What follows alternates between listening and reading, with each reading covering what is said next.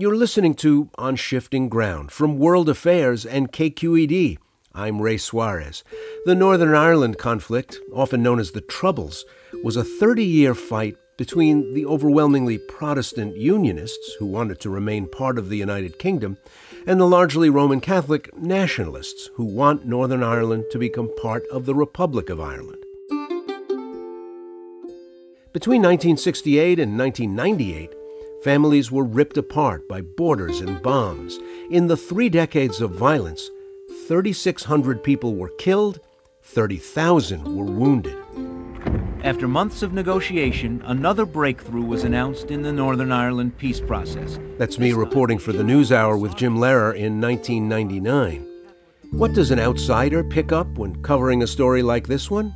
Well, they were physical things walls that marched through the middle of neighborhoods, murals of mourned martyrs announcing a neighborhood's allegiance to one side or another in the bloodletting. What you found in people, all kinds of people, was the tension that comes from an almost unbearable mix of pride, frustration, anger, sadness, and resignation, along with the grievance and the loss, the worry about what happens next. It was the sometimes unbearable feeling that it wasn't ever going to end. That lasted until the United Kingdom and the Republic of Ireland signed a peace deal in 1998. But if the focus on these islands remains in the past, the past will become the future. And that is something no one desires. Known as the Good Friday Agreement, the pact gave people in Northern Ireland the choice of citizenship in the UK Ireland, or both, and it made the border between Northern Ireland and the Republic of Ireland all but invisible. One of the key players in the agreement was Jonathan Powell. He was UK Prime Minister Tony Blair's chief negotiator for the Good Friday talks, which started in 1997. In Foreign Policy's acclaimed podcast, The Negotiators, hosted by Jenn Williams, the team recently spoke with Powell about how the agreement was just the beginning in setting a foundation for peace. The Northern Ireland negotiations were complicated, with lots of factions and many conflicting interests.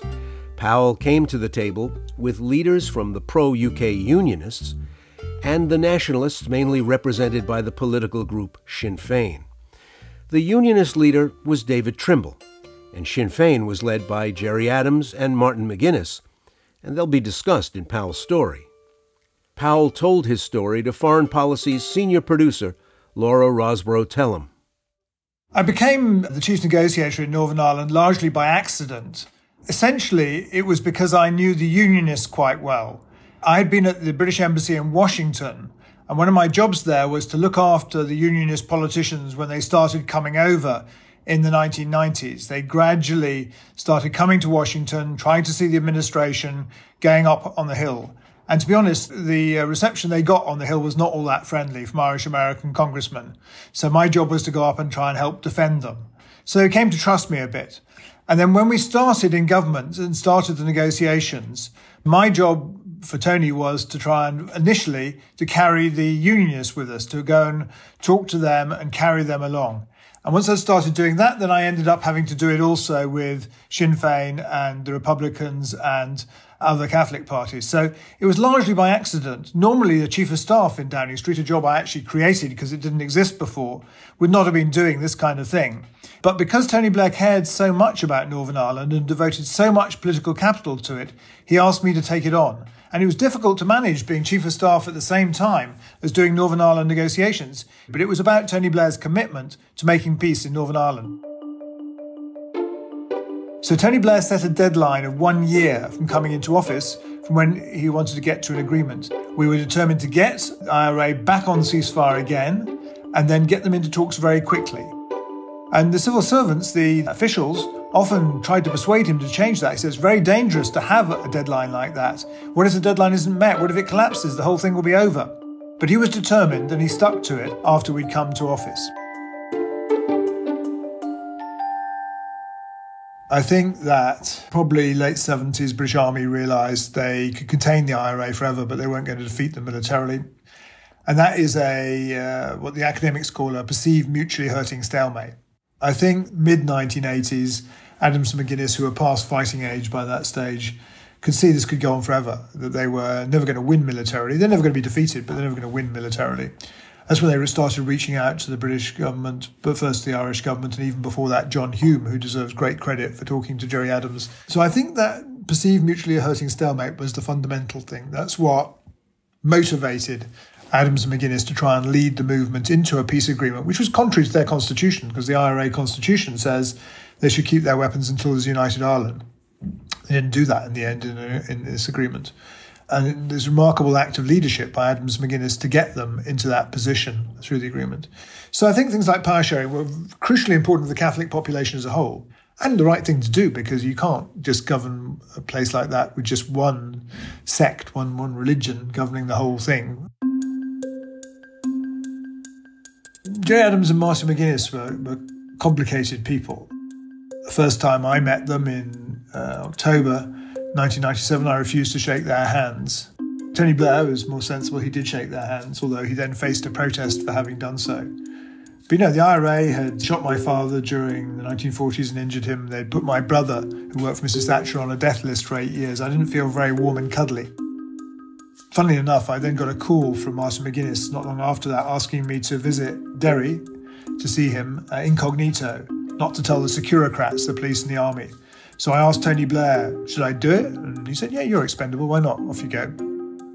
So I took a plane to Belfast and a taxi to Derry and stood on a street corner feeling rather foolish until two guys with shaved heads turned up and pushed me into the back of a taxi. They drove me around for about an hour till I was completely lost.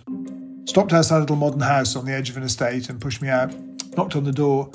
Martin McGuinness answered on crutches, making a very unfunny joke about kneecapping, which was the IRA way of punishing people by drilling holes in their knees, ankles, and uh, elbows. Um, I spent three hours with him we didn't make any breakthroughs, but understood finally that to end a war like this, you have to build trust. And building trust means taking shared risks, going onto their territory, not just expecting them to come to number 10 Downing Street, expecting them to come to castles in Stormont. So I got to know them quite well over that time. And they were very good negotiators. I mean, you know, they'd seen nine prime ministers come and go before Tony Blair while they'd been leaders of the Republican movement. So they were very experienced. And they divided the roles between them. There was a certain amount of good cop and bad cop. You know, Gerry Adams was the harder guy, and Martin McGuinness was the more pleasant uh, guy, although he'd probably killed more people with his own hands. Negotiating with them was difficult. You know, they would they would give me a very hard time. There's one occasion I remember negotiating with them in uh, West Belfast where it'd been a really hard day and they'd been really giving me a hard time. And Gerry Adams leaned across the table and said, "The thing I like about you, Jonathan, is that when you lie, you blush." And my Northern Ireland office colleague sitting next to me immediately leaned back across the table and said, Unlike you, Gerry. And that's true. I, I think the way I managed to win them over was by being very straightforward, trying to be as honest as I could be about what we could do and what we couldn't do. But they were both from underground movement. They were used to keeping secrets and not revealing their hands. So I was negotiating with a very different uh, set of people. If I look back at it, in the first meeting we had with Adams and McGuinness in Downing Street in December 1997, at the end of the meeting, um, Gerry Adams took Tony Blair and me to the end of a room, the cabinet room, which is separated off by some pillars so other people can't necessarily hear what you're saying. And he said that conceivably he could take the IRA into an agreement very quickly, but he would only take part of the IRA. And if he wanted to take the whole IRA, he needed time and space. And essentially, the gamble that Tony Blair took was to give the time and space for that to happen, to move gradually to getting to peace. And that's why it took so long, which David Trimble used to complain about. Why were we giving them so much time? But I think that was the only way to make a lasting peace. David Trimble, who was the leader of the Ulster Unionist Party, the moderate Protestant party, David Trimble was a very unusual character for a politician. He was an intellectual, he'd been a law professor at Queen's University in Belfast. He'd actually been a radical as a young politician. He'd helped bring down the moderate unionist government at the time of the Sunningdale Agreement in 1973, the last time there'd been an agreement with the parties in Northern Ireland. He, as a radical unionist, had helped defeat the moderate unionist leader. And he could be very difficult. And he was very bad as a politician, either at communicating to his public or at carrying his people with him uh, inside his party. So we had this agreement on a document called the Heads of Agreement. Heads of Agreement was something we agreed in February 1998, which was if you like, a framework agreement for the Good Friday Agreement. It's quite short, but what it did was it ruled out all those things we were not going to negotiate about. We weren't going to negotiate about a united Ireland. That wasn't included in the heads of agreement. And that took a very difficult negotiation. And I got David Trimble to an agreement on Sunday night. Finally, he'd agreed to something, and I'd sent it to him overnight. I went to bed having made, I calculated 120 phone calls in the course of Sunday. And I thought, this is pretty fragile, but I hope it's going to stay.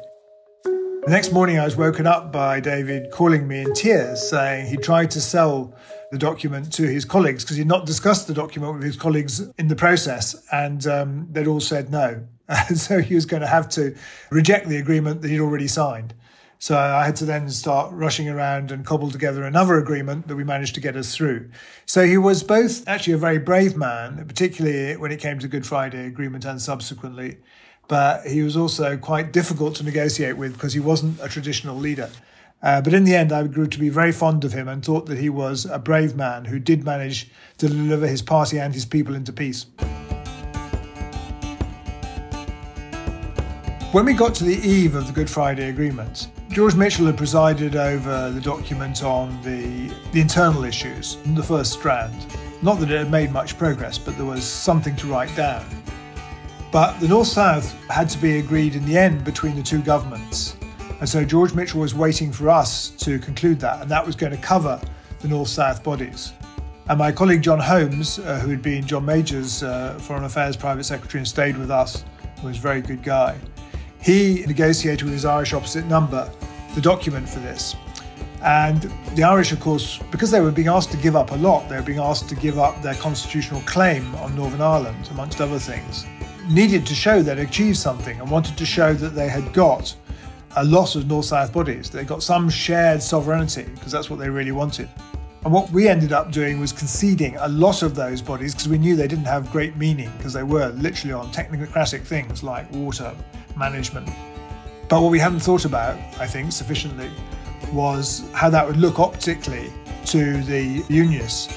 So when we finally gave that agreement to George Mitchell and he published it, John Taylor, the deputy leader of the Unionist Party, the one who'd lost the leadership to David Trimble, came out and said he wouldn't touch it with a 60 foot barge pole. And so when we went flying over to start the Good Friday negotiations, George Mitchell actually said to Tony Blair, I don't know why you've come, there's no chance of an agreement.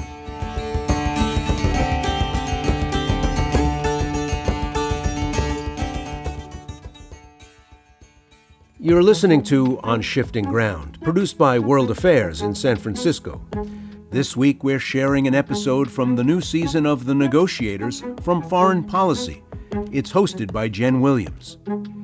Before the break, U.S. Senator George Mitchell, chairing the talks, thought there was no chance of getting to an agreement.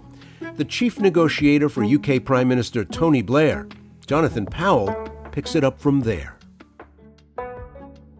we realised we had a really big problem with the UUP, with the Ulster Unionist Party. They couldn't actually address this agreement because of the optics of this annex with tens of pages of North South bodies. It looked like they were giving up British sovereignty. So we had to sort that problem out first. And we were saved in that by Bertie Ahern, the Irish Taoiseach or Prime Minister. He actually, his mother had just died just as we were starting the talks.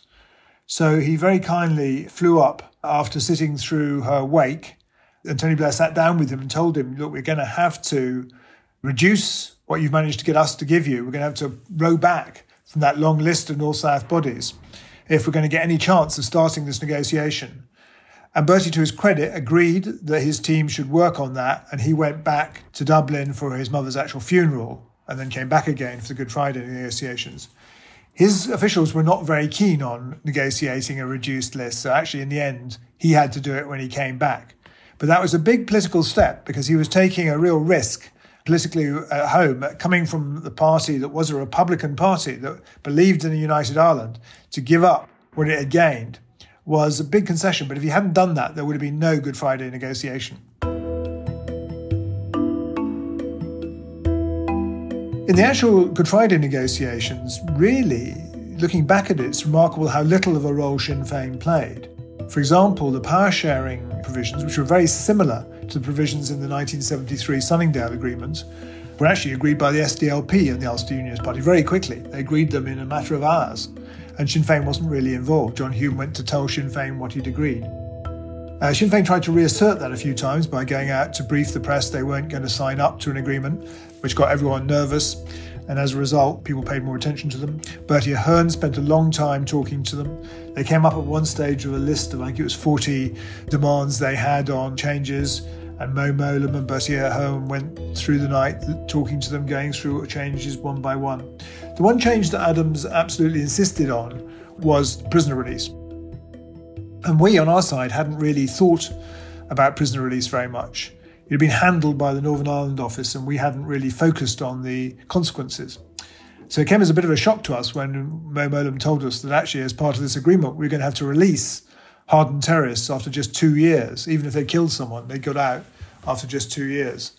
So we were a little bit shocked about that. And then Gerry Adams came to see Tony Blair and asked to see him privately and said he'd need the prisoners to be out in one year, not two years. And Tony, who was desperate enough to get to an agreement, said, Well, we'll think about it, but it'd be very, very hard for us to do this. So I think we'll leave it as two years, but you come back to me if we have to have one year as the only way of moving forward on this. Gerry Adams never called that in, but it would have been a big problem for us because when prisoners were released, it really undermined support for the agreement on the unionist side. But that was the main issue that Adams insisted on. Although I, looking at it in retrospect, I think for him, the most important thing was when Tony Blair said that he would, in response to a question from Adams privately, that he would stay committed on Northern Ireland. He wasn't going to go away. He wasn't going to sign the agreement and then just carry on governing other issues. He was going to stay committed to sorting that out. And I think that was the key thing. Because if you look back at the history of Northern Ireland, the basic problems happen when the British stop paying attention. You know, when we just dismiss it and say it's not our problem, then that's when we have difficulties in Northern Ireland. It's when prime ministers are directly engaged, as Tony Blair was for 10 years with huge amounts of time, then you have a better chance of solving it and keeping it solved. Some of these negotiations were very sort of uh, bizarre. Like at one stage, the unionists, very late at night, started insisting that there should be a body that was dealing with Ullans. Ullans is a dialect of English used by some Scots in Northern Ireland and they were demanding equal rights for that with the Irish language. And they tried that on Bertie Ahern with Tony Blair there late at night and nearly came to a punch up. The problem for David Trimble as leader of the Unionists was he didn't want to share power with a political party, Sinn Féin, with an army behind them, private army. Uh, so he needed them to give up their weapons. And the problem for us was that he didn't really raise this issue in a big way till very late in the negotiations. But at stage he came to really push on this, we'd already agreed to everything else. And a draft agreement had been circulated to all the parties at the negotiation headquarters in Castle Buildings, this awful, decrepit 1960s building that stank of sweat and stale food and people who hadn't slept for a very long time and people milling around. It was just a very unconducive place to do negotiations. So he came up to us at about sometime after midnight, very late at night, saying he just couldn't see how he could sell this agreement to his party if it didn't have clarity about the IRA giving up its weapons, because he couldn't share power unless they gave up weapons. And Tony Blair said to him, Look, we can't reopen this agreement now. That would be a whole new chapter. And we could be here a very, very long time if we tried to persuade the IRA at this stage to commit in writing to giving up all its weapons so if you do that, we'd, we'd shoot the whole agreement. And David Trimble went back, said, okay, well, I go back and talk to my party. And he went downstairs, and he, they had a very big office on the ground floor. And a lot of people in the course of that morning of Good Friday came in from the party. It wasn't just five or six people who had been in the negotiating team, there were tens of people there. And they worked themselves up into a sort of a lather about this and other issues. And Tony said to me, like, I don't think he's going to be able to sell this. We're going to have to do something to make sure he gets over the line. And we had with us an official, John Steele, I think his name was. He was uh, from Northern Ireland, but he's a unionist. He was in charge of security. And so we started asking him about how this could be expressed. And Tony Blair told me to get my laptop out, and I started typing, and he dictated to me, with John Steele occasionally correcting it, the terms of a side letter to David Trimble, a letter that would actually reassure him on this point of decommissioning of weapons by saying that the British government expected the IRA to give up its weapons if there was power sharing. So, sort of putting ourselves on the side of the unionists and saying that's what we expected to happen out of this agreement. And I typed it up on my laptop, pushed print on it, pulled off the printer, and ran downstairs because I knew this argument was running away from us amongst the unionists. And I got down to their office and they had the door locked so no one could come in and lobby them. And they wouldn't let me in. I tried knocking, but they wouldn't let me in. Eventually, I stuck the letter under the door, and a young unionist pulled it through and then opened the door and let me in. I took the letter up to where David Trimble was sitting on a, at a table with John Taylor, the two of them, on a slightly raised dais, as if you know in a school or something, a stage. And I took and gave the letter to David, and David started reading it, and John Taylor read it over over his shoulder, and I heard John Taylor say, "We can run with that." So I left the room immediately, went upstairs, told Tony we had agreement. We immediately summoned the plenary before anyone could change their minds and just sort of really uh, railroaded everyone into an agreement before they could think too much about it. And actually, we also brought it to a conclusion very quickly. No one signed anything. Tony Blair and Bertie Ahern went outside, did a press conference, announced the agreement, and left uh, before it could be all unravelled. David Trimble went out and did a press conference a little bit later on the steps. By then, it started to rain. And the letter, he had the letter and he read it out at his press conference and it start, the ink started to run. The only problem was, in my rush, I hadn't saved a copy of this letter. Uh, so we didn't have any means of knowing what we'd originally said. And rather shamefacedly, a few months later, the Northern Ireland office had to approach David Trimble to ask to see a copy of the letter so we could reconstruct what we'd actually promised. And had it disintegrated entirely in the rain, no one would ever have known uh, what we promised. And that, that's the way negotiations work. But that was what got him over the hump. But it didn't solve the problem because then we had this problem of decommissioning for the years that followed. As soon as Tony Blair and Bertie Ahern had done their press conference, we rushed to the helicopters that were waiting for us just a very short distance away at uh, Stormont Castle to take us back to our planes and back to London. Tony Blair had been very worried about this whole negotiation because he'd been supposed to spend Easter with Prime Minister Aznar of Spain in his official residence in the country in Spain and his uh, wife and mother-in-law had gone ahead of him, and he was terrified about what his mother-in-law would be saying to uh, Aznar. So he was very keen to get moving. And we came out of the negotiation. We were just about to get on the helicopter. I got a call from Buckingham Palace. The Queen wanted to speak to Tony, so I put him on the phone to him so he could say a few words. We took off. We were very sort of uh, full of gallows humour because we just couldn't believe we'd escaped this nightmare of three days and night without sleep. And basically, we had some gallows humour about thinking, thank goodness that's over. But if we thought that we'd solved the problem in Northern Ireland, we were sadly mistaken. The next nine years, because it took us nine years to implement the Good Friday Agreement, I thought, what a waste, why what a shame, why couldn't we just cut to the chase and get it done? But then when you think about things like the Oslo Accords, where you had all the celebration when there was agreement, but no effort to implement it, you understand that people don't trust each other anymore just because you have a piece of paper. In fact, you have a piece of paper because you don't trust each other, but you only begin to trust the other side when they implement what's on the paper. So those nine years weren't wasted. They were actually negotiations to build confidence between the two sides they'd really do what they said they were going to do. So it was necessary to go through those steps to get to the assembly up and running under uh, Ian Paisley and Martin McGuinness in a lasting way. And I think whenever I look at another peace agreement that I'm working on, I always think this implementation phase is really the most important. If you don't have that implementation phase, it's never going to work. The unionists didn't want to go into government with people who were backed by a private army because they were afraid that would be used to, to oppress them. So that was the central issue. But there were other issues. There was the Irish language. Was it really going to be used, encouraged, funded, used sometimes in official uh, functions? There was the issue of the protection of human rights that Catholics in particular wanted for minority rights. There was the issue of policing, actually perhaps most difficult issue. In the Good Friday Agreement, we couldn't agree what would happen about policing. Policing had been very dominated by Protestants throughout the history. The overwhelming majority of the police force had been Protestant. It had been very biased towards uh, Protestants and wasn't accepted in uh, Republican areas of the country. And no one would give any information to the police. So what we agreed in the Good Friday Agreement was there should be a commission on policing, which was headed by uh, Chris Patten, a Conservative minister who was quite popular in Northern Ireland, being a Catholic, was a Catholic, and, but had been a Tory. And he did a very good job. He produced a, um, an excellent uh, outcome to the policing reform. And then the reform was put in place by Hugh Orde, the uh, chief constable, very successfully. But even then, we hadn't solved the problem. And we had a whole series of negotiations, the end of 2006, beginning of 2007, to get uh, Sinn Féin to accept the police, the reform police, and participate in the policing bodies governing it.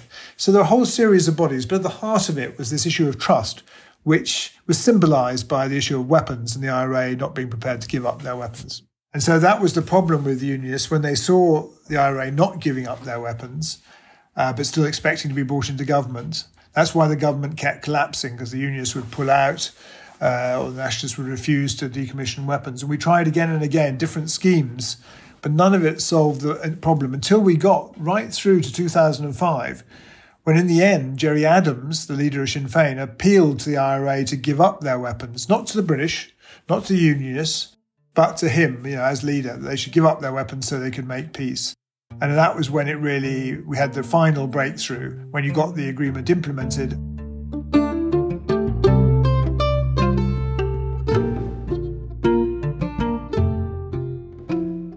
I spend my time now, all my time, working on conflicts around the world, which of course very different from Northern Ireland. But I think there are two things I take away in particular from Northern Ireland, as well as many technical lessons that are useful, even if the conflicts are different. One is that there is no such thing as an insoluble conflict. After we signed the Good Friday Agreement, people said, well, there was always going to be peace in Northern Ireland because of the economic change. You know, the Republic of Ireland had got richer. Islamic terrorism came along and made Republican terrorism seemed less terrifying. That's completely wrong. It only happened because there were leaders on both sides who were prepared to take risks, who were patient, who kept at it. So it's really important people understand everywhere that their conflict may be unique, it may be particularly visceral, but it's soluble if they put their minds to it. But it won't get solved by itself. It only gets solved if there are people who are brave enough to make peace, because making peace is a hell of a lot harder for a politician than making war. It's a a lot more difficult to sell it to your population. And that's what I would love to see is people having that bravery in all sorts of conflicts around the world. That was Jonathan Powell, UK Prime Minister Tony Blair's chief negotiator for the Good Friday Agreement.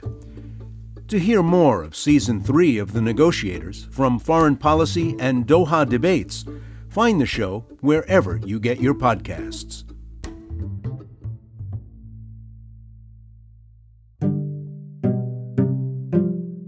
You've been listening to On Shifting Ground, produced in partnership with KQED, with funding from listeners like you.